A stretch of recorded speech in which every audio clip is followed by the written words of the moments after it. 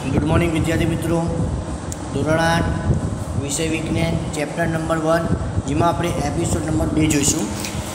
કે અગાઉ આપણે એપિસોડ વનની અંદર થોડી ચર્ચા કરી હતી કે પાક ઉત્પાદન ઉત્પાદન અને તેનું વ્યવસ્થાપન. તો વિદ્યાર્થી મિત્રો, એની અંદર આપણે જમીનની ચકાસણી, જમીનની પદ્ધતિઓ આપણે જોઈ ગયા હતા. ઓકે? કે પાક ઉત્પાદનની વિવિધ પદ્ધતિઓ હતી કે પાક ઉત્પાદનની મૂળભૂત પદ્ધતિઓમાં આપણે જમીનની પૂર્વ તૈયારી, રોપણી, ઓકે, આ બધીની ચર્ચા કરી હતી. હવે આપણે જોઈશું કુદરતી ખા, કુદરતી અને કૃત્રિમ ખાતર. કે એની પણ આપણે થોડી ચર્ચા કરી હતી કે કુદરતી ખાતરની અંદર આપણે છાણું ખાતર, બરોબર, વળવી કોમ્પોસ્ટ ખાતર જેવા ખાતરની આપણે ચર્ચા કરી હતી. આ ઉપરાંત કૃત્રિમ ખાતર વિશે પણ આપણે ચર્ચા કરી હતી કે કૃત્રિમ ખાતરની અંદર આપણે યુરિયા, યામોનિયમ કે ammonia sulphate super phosphate, potash વગેરે. ત્યારબાદ એનપીકે, નાઇટ્રોજન, ફોસ્ફરસ અને પોટેશિયમ. સોરી કે પોટેશિયમ. આ વિશે આપણે ચર્ચા કરી હતી. હવે વિદ્યાર્થી મિત્રો, આના આધારે આપણે કૃત્રિમ ખાતર અને કુદરતી ખાતરનો તફાવત જોવાનો. કે જે તમને પરીક્ષાની અંદર બે માર્ક્સ કે ત્રણ માર્ક્સની અંદર તમને પૂછાઈ શકે. આ ઉપરાંત તમને નાના વિકલ્પો, એક વાક્યના પ્રશ્ન પણ પૂછી શકે કૃત્રિમ ખાતર એટલે શું, કુદરતી ખાતર એટલે શું, કયા કૃત્રિમ ખાતર, કયા કુદરતી ખાતર, બરાબર? આ બધા માટે આપણે આ તફાવત આપણા માટે મોસ્ટ ઇમ્પોર્ટન્ટ રહેશે. કે જો પહેલું કૃત્રિમ ખાતર. ઓકે કે પહેલો પોઈન્ટ કૃત્રિમ ખાતર એ માનવ નિર્મિત અકાર્બનિક ક્ષાર. કે કૃત્રિમ ખાતર કેવી રીતે? કે કૃત્રિમ ખાતર મનુષ્ય દ્વારા, કે માનવ નિર્મિત અકાર્બનિક ક્ષાર જ્યારે કુદરતી એ, કુદરતી ખાતર એ પ્રાકૃતિક પદાર્થ, એટલે કે કુદરતીમાંથી મળે, કુદરતમાંથી મળતો પદાર્થ છે. સાણ તેમજ વનસ્પતિના અવશેષોના વિઘટનથી પ્રાપ્ત થાય છે. કૃત્રિમ ખાતર માનવ નિર્મિત જ્યારે કુદરતી ખાતર એ કુદરતી પેદાશ, એટલે કે પ્રકૃતિ પેદાશ છાણ વનસ્પતિના અવશેષોમાંથી પ્રાપ્ત થાય છે. બીજો પોઈન્ટ કૃત્રિમ ખાતરનું નિર્માણ કારખાનામાં થાય છે. એટલે કે કૃત્રિમ ખાતર જે રહ્યું, એનું નિર્માણ ક્યાં થશે? કારખાનાની અંદર. જ્યારે કુદરતી ખાતર ખેતરમાં બનાવવામાં આવે છે. ઓકે? ત્રીજો પોઈન્ટ કૃત્રિમ ખાતરથી જમીનની સેન્દ્રિય પદાર્થ પ્રાપ્ત થતા નથી. એટલે કે સેન્દ્રિય પદાર્થો પ્રાપ્ત થતા નથી. કારણ કે એની અંદર રાસાયણિક પદાર્થો આવેલા. ઓકે? જેના કારણે સેન્દ્રિય પદાર્થોનો શું થશે? નાશ થશે. એટલે કે પ્રાપ્ત થતા નથી. જ્યારે ત્રીજો પોઈન્ટ કુદરતી ખાતરમાં. કુદરતી ખાતર જમીને ભરપૂર માત્રામાં સેન્દ્રિય પદાર્થો એટલે કે સડતા કાર્બનિક પદાર્થો પ્રાપ્ત થાય છે. વિદ્યાર્થી મિત્રો, આ ત્રણ પોઈન્ટ હતા. ચોથો પોઈન્ટ જોઈએ કૃત્રિમ ખાતરમાં કે કૃત્રિમ ખાતરમાં વનસ્પતિ માટે જરૂરી પોષક દ્રવ્યો જેવા કે નાઇટ્રોજન, ફોસ્ફરસ અને પોટેશિયમ ભરપૂર માત્રામાં મળે છે. એટલે કે એનપીકે નાઇટ્રોજન, ફોસ્ફરસ અને પોટેશિયમ કૃત્રિમ ખાતરમાં ભરપૂર હોય છે, જે વનસ્પતિ માટે ઉપયોગી. તો ચોથો પોઈન્ટ કુદરતી ખાતરમાં શું આવશે? કે કુદરતી ખાતરમાં વનસ્પતિ માટે જરૂરી પોષક દ્રવ્યો તુલનાત્મક રીતે ઓછા હોય. એટલે અમુક પ્રમાણમાં શું? ઓછા ઓછા અંશે આવશે. ઓકે? આ હતા આપણા તફાવત. કૃત્રિમ ખાતર અને કુદરતી ખાતર. વિદ્યાર્થી મિત્રો આ તમારા માટે મોસ્ટ ઇમ્પોર્ટન્ટ તમારા તૈયાર મોઢે કરી નોટની અંદર લખી નાખવાનું. ઓકે નેક્સ્ટ જોઈએ. કોષ્ટક એક પોઈન્ટ એકમાં કૃત્રિમ ખાતર અને કુદરતી ખાતર વચ્ચેનો ભેદ તમે દર્શાવ્યો. ઓકે હવે જોઈએ કે કુદરતી ખાતરના ફાયદા. આ તફાવત પરથી આપણે કેટલાક ફાયદા કાઢીએ. ઓકે કોઈ પણ વસ્તુ હોય, એનો ફાયદો અને નુકસાન તો હોય જ. એટલે કે કુદરતી ખાતરના ફાયદા. પરીક્ષામાં તમને પૂછાય બે માર્ક્સમાં કે ત્રણ માર્ક્સની અંદર કુદરતી ખાતરના ફાયદા જણાવો. તો જૈવિક ખાતરને કૃત્રિમ ખાતરની તુલનામાં વધારે સારું ગણવામાં આવે છે. જેના મુખ્ય કારણ આ મુજબ છે. એક, તેનાથી જમીનના જલધાવણ ક્ષમતામાં વધારો થાય છે. એટલે કે જમીનની અંદર ભેજનું પ્રમાણ જળવાઈ રહે છે, વધારો થાય છે. તેનાથી જમીનના, જમીન છિદ્રાળુ થઈ જાય છે. જેથી વાયુ વિનિમય સરળતાથી પ્રાપ્ત થાય છે કે વાયુનું વિઘટન સરળતાથી થઈ શકે છે. ઓકે? ત્રીજું, તે ફળદાયક સૂક્ષ્મજીવોમાં વધારો કરે છે. કુદરતી ખાતરના કારણે કેટલાક સૂક્ષ્મજીવો જે રહ્યા, એ જમીન ઓછી કરવા માટે, સેન્દ્રિય પદાર્થોના વિઘટન માટે ઉપયોગી બને છે. જમીનના બંધારણમાં સુધારો કરે છે. શું કરશે? જમીનના બંધારણની અંદર સુધારો કરે છે. હવે આવશે કે સિંચાઈ. ઓકે, વિદ્યાર્થી મિત્રો, આપણે આ બધા પોઈન્ટ જોઈ રહ્યા કે પાક ઉત્પાદનની મૂળભૂત પદ્ધતિઓમાં પહેલું ભૂમિની તૈયારી, બીજું રોપણી, ત્રીજું કુદરતી અને કૃત્રિમ ખાતર. હવે ચોથું આવશે સિંચાઈ. વિદ્યાર્થી મિત્રો, કોઈપણ પાકનું ઉત્પાદન મેળવવા માટે પાણીની આવશ્યકતા જરૂરી છે. ઓકે, એટલે કે સિંચાઈ પદ્ધતિ. એ પાક ઉગાડવો હોય મારો તો એ પાકને પૂરતા પ્રમાણમાં પાણી મળી રહે છે કે નહીં, એની મારે જાણ હોવી જોઈએ. પૂર્વ તૈયારી હોવી જોઈએ. ઓકે, હવે આવશે સિંચાઈ પદ્ધતિ. કે જીવત રહેવા માટે પ્રત્યેક સજીવને પાણીની આવશ્યકતા રહેલી છે કે આપણે સવારથી ઉઠીને સાંજના સમય, રાત્રિના સમય સુધી પાણીની મૂળભૂત આવશ્યકતા રહેલી છે. ચાહે પ્રાણી હોય, ચાહે પક્ષી હોય, ચાહે મનુષ્ય હોય, કે વનસ્પતિ હોય આ સજીવ માટે પાણી એક અવશ્ય પરિબળ છે.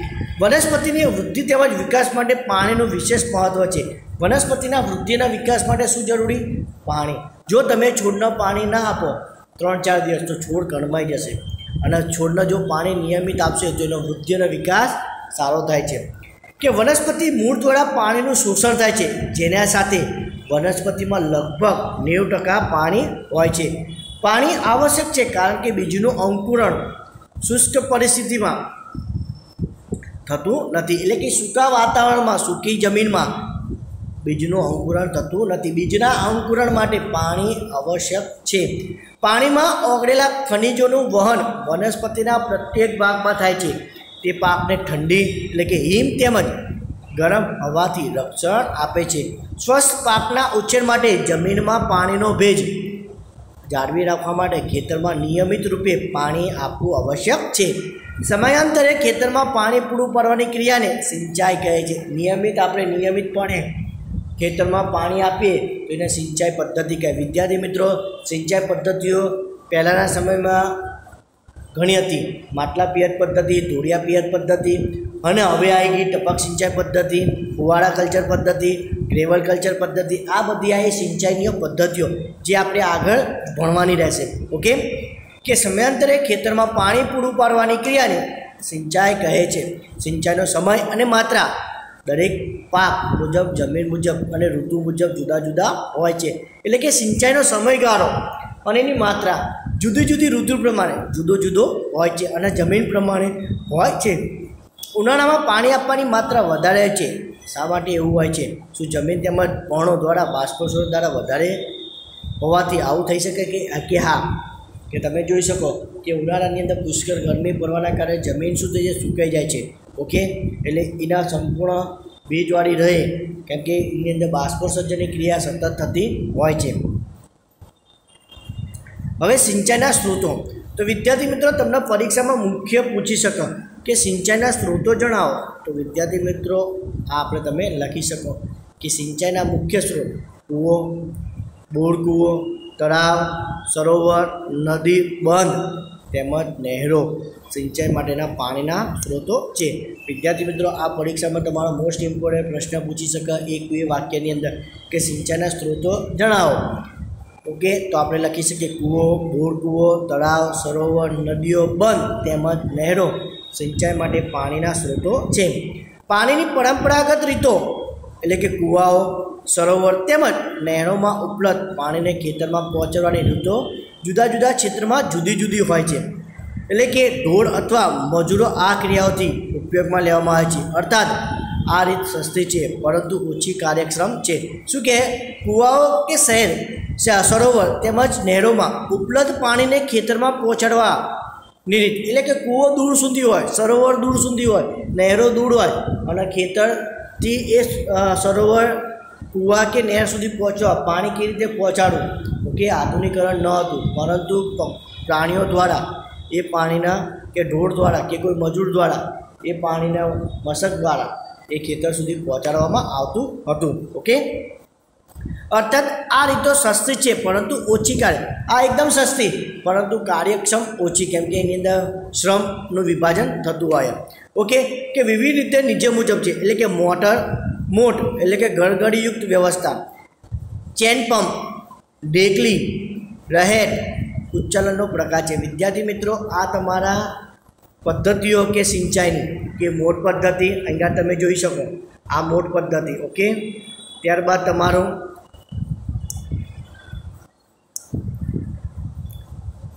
ચેન પંપ ઓકે આ ડેકલી.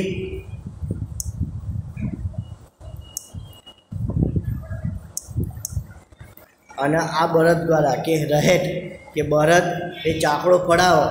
અને આ ચાકડો પડશે એટલે શું થશે? પાણીના જે પેલા મશકો ગૂંઠવેલી, એ પાણી ઢોળાશે. ડોલ કે એવું હોય. એમાં આ ગડગડી પડશે. અહીંયાથી બળદ આંટા મારશે અને આ ગડગડી પડશે. એટલે પાણીનું શું થશે? પહોંચી જશે. પાણીને ઉપર પહોંચવા માટે સામાન્ય રીતે પંપનો ઉપયોગ કરવામાં આવે છે. હાલના સમયની અંદર આપણે આધુનિક યંત્રની જોઈએ તો મોટર આવી ગઈ.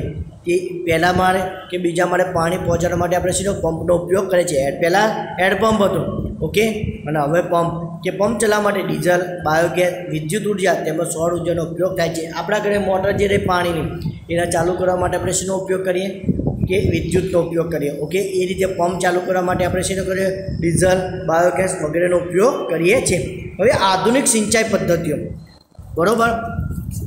કે આધુનિક સિંચાઈ પદ્ધતિમાં જોઈએ, વિદ્યાર્થી મિત્રો, કે સિંચાઈની આધુનિક પદ્ધતિ દ્વારા પાણીનો કરકસરપૂર્વક ઉપયોગ કરીએ છીએ. મુખ્ય પદ્ધતિઓ નીચે મુજબ છે. કે ફુવારા પદ્ધતિ. કે પહેલો અંદર જોવાનું કે ફુવારા પદ્ધતિ. ઓકે અરે આ ફુવારા પદ્ધતિની અંદર ઉપયોગ સમતલ ભૂમિ માટે કરવામાં આવે છે. જ્યાં પાણી ઓછી માત્રામાં હાજર હાજર હોય. એટલે કે વિદ્યાર્થી મિત્રો, તમે જોઈ શકો કે ગાર્ડન કે કોઈ મેદાન હોય, તો એની અંદર એક પંપ ના, નીચે રાખેલી ટોટી અને પાણીનો ફુવારો વાગતો હોય. પાણીનું પ્રેશર ચારે બાજુમાં ફેંકાતીની ગરગડી હોય. એ ગરગડીથી પાણીનો પ્રેશર ફુવારો વાગતો હોય. ઓકે? એના દ્વારા શું કરવાનું? જો તમે જોઈ શકો, આ ફુવારા પદ્ધતિ. અહીંયાથી મોટરથી પાણી લાવ્યું અને આ નીચે પાણી રાખી અને એની પિચકારી આમ છૂટતી હોય. ઓકે? આ રીતે. કે જ્યાં પાણી ઓછી માત્રામાં હાજર હોય છે, કાટખૂણે પાઇપનો ઉપરી છેડા પર પડતી નોઝલ લગાડવામાં આવેલી એક નોઝલ લગાડેલી હોય, એ નોઝલ ફરતી હોય છે. આ પાઇપ નિશ્ચિત અંતરે મુખ્ય પાઇપ સાથે જોડાયેલા હોય છે જ્યારે પંપની મદદથી પાણી મુખ્ય પાઇપમાં પહોંચાડવામાં આવે છે. ત્યારે તે ફરતી નોઝલમાંથી બહાર નીકળે છે. એનો છંટકાવ છોડ ઉપર એવી રીતે થાય છે કે વરસાદ પડતો હોય ફુવારા પદ્ધતિ ઘાસવાળી જમીન, કોફીના વૃક્ષો અને બીજા કેટલાક પાક માટે ઉપયોગી છે. હવે આવશે વિદ્યાર્થી મિત્રો વિદ્યાર્થી મિત્રો ટપક પદ્ધતિ. બીજી આવશે આ ટપક પદ્ધતિ. કે વિદ્યાર્થી મિત્રો, આ ટપક પદ્ધતિની અંદર તમારે શું કર્યું કે ખેતરવાઈ આ રીતે પાઇપ લગાવી દીધો અને છિદ્રો પાડેલા હોય. ઓકે? અને જેનાથી પાણી શું ટપકતું હોય. ઓકે? કે બોર સાથે જોડેલી હોય અને આ રીતે પાક ઉગેડેલો હોય. ઓકે? આ પાકના પર તમે જે જગ્યાએ તમે સિંચાઈ કે ટપક પેલો કાણા પાડેલા હોય પાઇપના, અને એ પાઇપના કાણા એ છોડ નીચે રાખેલા, છોડ નીચે હોય અને પાણી ટપકતું હોય. એટલે આખો દિવસ એ ટપક પદ્ધતિથી પાકને સંપૂર્ણ પાણી મળી રહે છે. ઓકે? કે ટપક પદ્ધતિ, આ પદ્ધતિ વડે પાણી ટીપે ટીપે સીધું છોડના મૂળમાં પડે છે. આથી ટીપી ટીપી તેને ટીપક પદ્ધતિ કહે છે. ફળ આપતી વનસ્પતિના બગીચા તેમજ વૃક્ષને પાણી આપવાની આ સર્વોત્તમ પદ્ધતિ છે. આ પદ્ધતિમાં પાણીનો વ્યય થતો નથી, એટલે કે પાણી શું નિમિત માત્રામાં? થોડાક માત્રામાં પાણી પડતું, ટપકતું હોય. આ એટલે આ પદ્ધતિને અછતવાળા વિસ્તારમાં એક વરદાન સમાન છે. હવે આવશે નિંદર રક્ષણ.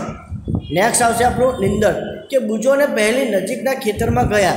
અને તેઓ જુએ છે કે ખેતરમાં ઘઉંના પાક સાથે કેટલાક અન્ય છોડ પણ ઊંઘીલા કે સોરી નિંદર રક્ષણ. એટલે કે કે પાકની સાથે નકામું જે ઉપયોગ, બિનઉપયોગી ઘાસ ઉગી નીકળતું હોય, એને આપણે નિંદણ કહે છે. નિંદણ એટલે શું? પરીક્ષામાં પૂછે કે નિંદણ એટલે શું?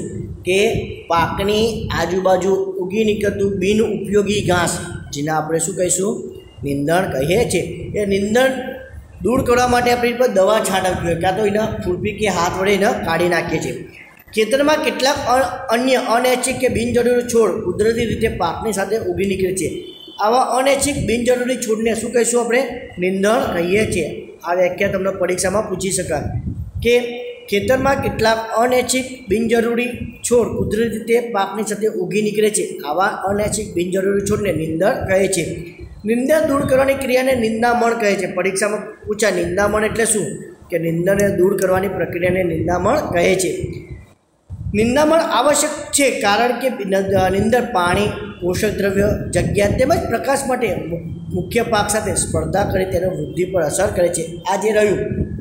નિંદર એ પાકના જે પોષક તત્વો, પાણી, સૂર્યપ્રકાશ મળતો છે, એની અંદર અડ- અડચણ રૂપ બને છે. માટે દૂર કરવું જરૂરી છે. કેટલાક નિંદણ લણણીમાં પણ વિક્ષેપ ઊભો કરે છે, તથા મનુષ્ય અને પ્રાણીઓ માટે ઝેરી પણ હોય છે. કેટલીક નિંદણ ઝેરી પણ હોય, જે પાકને લણણી કરતાં પાકની સાથે કપાઈ જાય અને પાકની સાથે ઉગી કે ઝેરી પણ બની શકે કે ઉમેરે જાય. માટે આપણે એને શું કરવું પડે? દૂર કરવું પડે છે. નિંદણને દૂર કરવા તેમજ તેની વૃદ્ધિને નિયંત્રણ કરવા ખેડૂત વિભિન્ન પદ્ધતિઓ અપનાવે છે.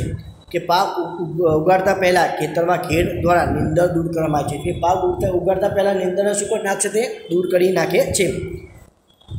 પહેલાં ખેતરમાં ખેડ દ્વારા નિંદર દૂર કરવામાં સહાયતા મળે છે. એનાથી નિંદર સુકાઈને મળી જાય છે અને માટીમાં ભળી જાય છે. નિંદરમાં પુષ્પ ઉદ્ભવે છે કે બીજ બને. તે પહેલાં નિંદરને દૂર કરવી. એટલે કે પુષ્પ બને કે બીજ બને? એ પહેલાં નિંદરને શું કરી નાખવું પડે? દૂર. સમાંતરે નિંદરને જમીનની નજીકથી કાપવા કે મૂળ સહિત જાતે જ ઉખાડવામાં આવે છે. આ કાર્ય ખુરપી અથવા વાવણિયાની મદદથી થાય છે કે સિટ્રીલની મદદથી કરી શકીએ છીએ. નિંદણને કેટલીક રાસાયણિક મદદથી પણ દૂર કરવામાં આવે છે, જેને નિંદણનાશક કહે છે. જેમ કે ટુ ફોર ડી. પરીક્ષામાં પૂછાય, નિંદણનાશક કયો એક છ? તો આપણે લખી શકીએ ફોર ફોર ડી અથવા ટુ, કે નિંદણનાશકનો આપણે ઉપયોગ કરીએ છીએ.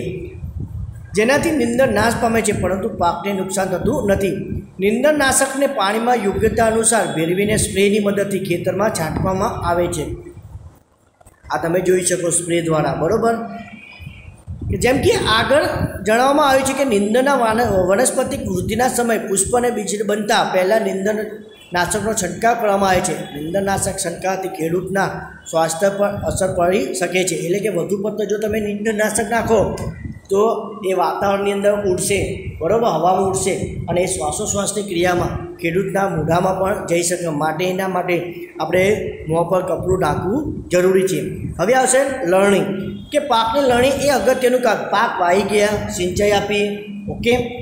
એમાં ખાતર ઉમેર્યા. હવે પાકને શું કરવું પડશે? લણણી કરવી પડશે. કે પાકની લણણી એ અગત્યનું કામ છે. પાક જ્યારે સંપૂર્ણ પરિપક્વ થઈ જાય છે, ત્યારે તેને કાપ, કાપવાની ક્રિયાને લણણી કહે છે. પાક ઉગી જાય, સંપૂર્ણ તૈયાર થઈ જાય અને કાપવાની ક્રિયાને આપણે શું કહીશું? લણણી.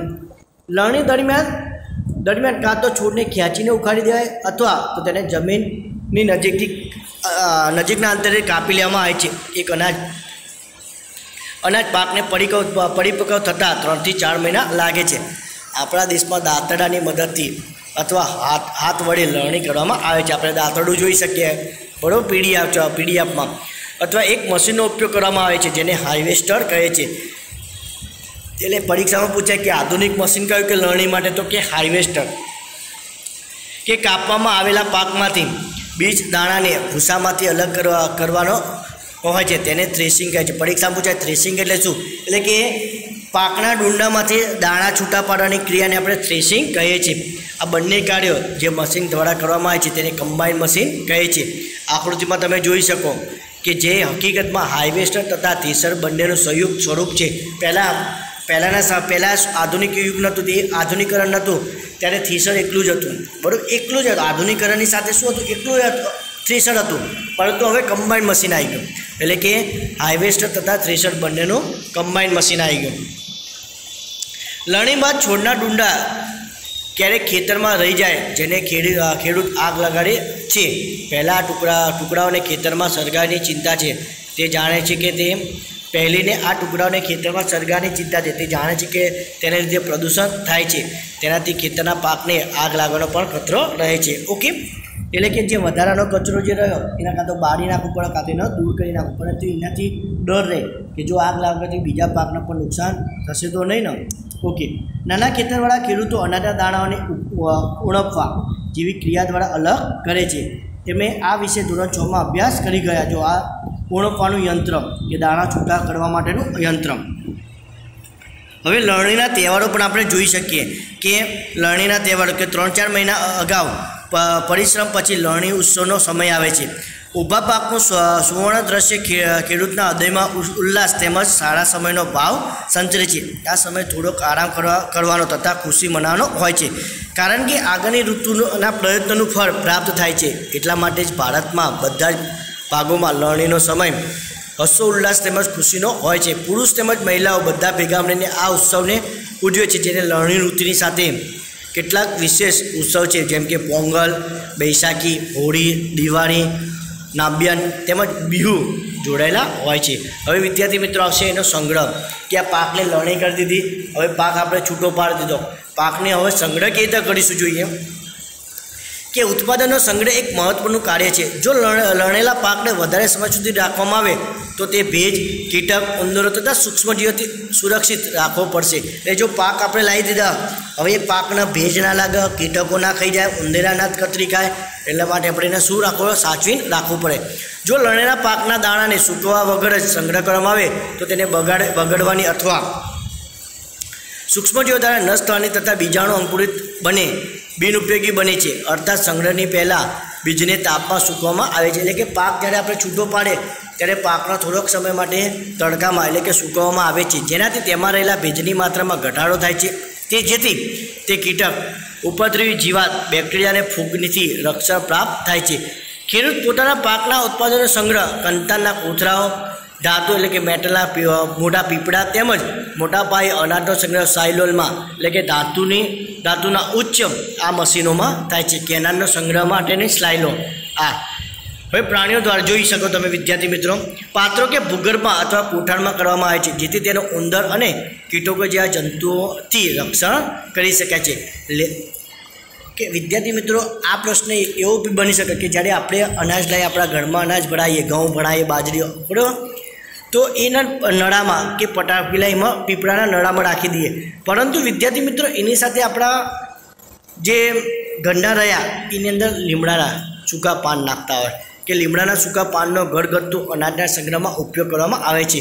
મોટા સંગ્રહ ગૃહમાં અનાજનો ઉપદ્ર તેમજ સૂક્ષ્મજીવો સૂક્ષ્મજીવોથી સુરક્ષા, રક્ષા માટે રાસાયણિક ઉપચાર કરવામાં આવે છે. હવે વિદ્યાર્થી મિત્રો, પ્રાણીઓ દ્વારા ખોરાક કે દૂધ તો વિદ્યાર્થી મિત્રો તમારી નોટબુકમાં અહીંયા કોષ્ટક પૂરું કરવાનું. કે દૂધ, ગાય, ભેંસ, બકરી, ઊંટ, આપણને દૂધ ક્યાંથી મળે? બરાબર? એ બધું આપણે લખી શકીએ કે તમારે કોષ્ટક પૂરું કરવાનું રહેશે. ઓકે? કે આ કોષ્ટકની અંદર વિદ્યાર્થી મિત્રો, પહેલું આપણે જોયું કે દૂધ. તો દૂધ ક્યાંથી? ગાય, ભેંસ, બકરી, ઊંટ. બીજામાં તમારે લખવાનું માંસ. તો આપણે માંસીમાંથી કે બકરી, ગાય, મરઘી. તે રીતે ત્રીજું ઈંડા. તો મરઘી અને બતક, માછલી, વિવિધ પ્રકારની વનસ્પતિઓ. તો વિદ્યાર્થી મિત્રો, આ ત્રણ જે રહ્યા બાકીના, એ મેં તમને લખાયું માંસ, ઈંડા અને માછલી. એ કેમાંથી પ્રાપ્ય સ્ત્રોત કયા? તો માંસ, બકરી, ગાય મરઘી ઈંડા મરઘી બતક, માછલા, વિવિધ પ્રકારની માછલીઓ. ઓકે? આ કોષ્ટકને પૂર્ણ કર્યા બાદ તમે જોયું હશે કે વનસ્પતિઓની જેમ પ્રાણીઓ પણ આપણને વિભિન્ન પ્રકારના ખોરાક પદાર્થ પ્રદાન કરે છે. ઓકે, વનસ્પતિમાંથી જે ખોરાક મળતો મળે છે, એ રીતે પ્રાણીઓમાંથી પણ આપણને વિવિધ પ્રકારના ખોરાક મળે છે. સમુદ્રના તળિયે ક્ષેત્રમાં રહેલા સૂક્ષ્મ આહાર, મુખ્ય આહાર તરીકે માછલાનો ઉપયોગ કરે છે. એટલે કે સમુદ્રની તટીય જે લોકો રહેતા હોય, એનો મુખ્ય આહાર કયો કે માછલા?